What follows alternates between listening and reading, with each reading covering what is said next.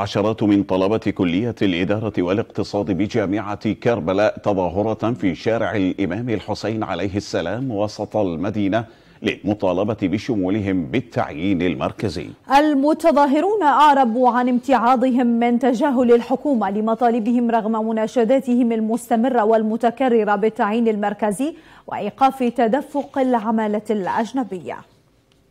نناشد المرجعية العليا المتمثلة بسماحه السيد علي السيستاني بأن يكون أن يصل صوتنا للحكومه المحلية والمركزية بشمولهم بالتعيينات أسوة بباقي الكليات المتمثلة بالطب وبعض الكليات الهندسية. في الأيام التي مضت خرجنا بتظاهرة وناشدنا بها الجهات المركزية المتواجدة في المحافظة ولم يستجيب إلينا أي أحد ونحن مطالبنا معروفة ومشروعة كذلك نطالب بإخراج اليد العاملة التي غزت تلك محافظة كربلاء. بالعراق كلية الإدارة والاقتصاد الوحيدة الكلية الما لها وزارة خاصة بها. يعني كل الكليات ال ال ال الهندسة الطب غيرها غيرها كلها عندهم كليات خاصة بهم. الطالب بحقوقهم يقدرون يناشدون لها إحنا بالنسبة لنا خرجنا بهاي المظاهرات نطالب بتعيين مركزي يريد أحد.